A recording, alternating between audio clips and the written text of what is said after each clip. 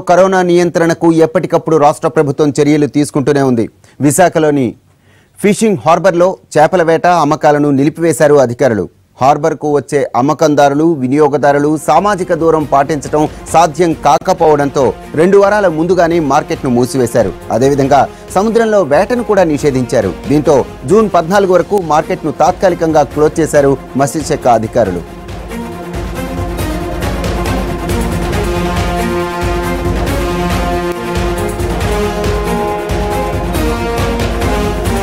దీనికి సంబంధించిన పూర్తి సమాచారం విశాఖ నుంచి మా ప్రతినిధి చిరంజీవి అందిస్తారు.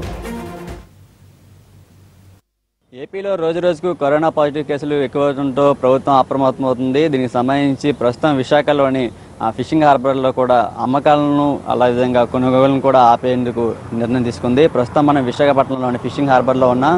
ప్రస్తుతం చూడొచ్చు. అయితే రోజు కొన్ని వందల సంఖ్యలో ఇక్కడికి వచ్చి వ్యాపారులు తమ వ్యాపారాలను సాగిస్తుంటారు. అదేవిధంగా వినియోగదారులు వినియోగదారులు వాళ్ళంతా వచ్చి ఇక్కడ కొనుగోళ్ళు చేస్తుంటారు.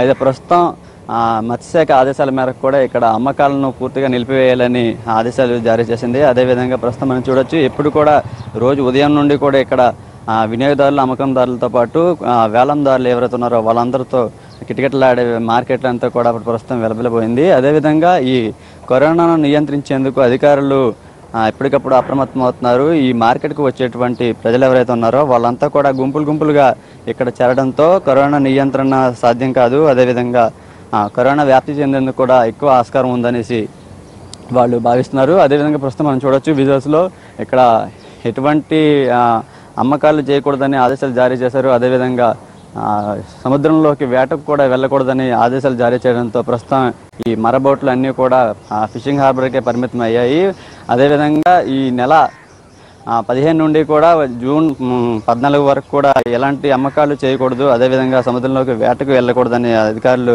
స్పష్టం చేశారు.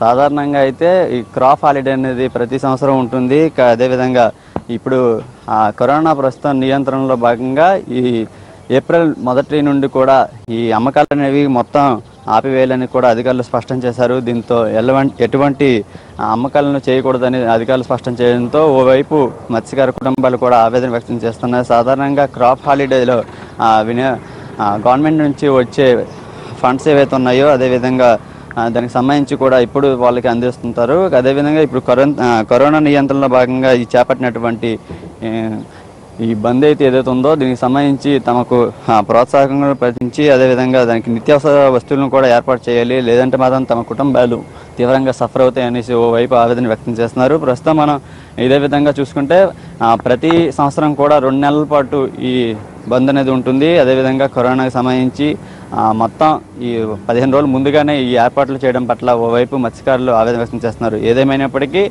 కరోనాను నియంత్రించాలంటే ఈ మార్కెట్లో గుంపు గుంపులుగా ఉండే ప్రజలను తగ్గిస్తేనే కరోనా నియంత్రణను చాలా తగ్గించవచ్చని అధికారులు భావిస్తున్నారు. ఈ నేపథ్యంలోనే రెండు నెలల ముందుగానే ఈ కరోనా నేపథ్యంలో ఈ బంద్ను ప్రకటించారు. మార్కెట్లను కూడా ఎటువంటి అమ్మకాలు చేయొద్దని అధికారులు స్పష్టం చేశారు. కెమెరామ్యాన్ హరిత చిరంజీవి ఎన్టీవీ విశాఖపట్నం నుండి.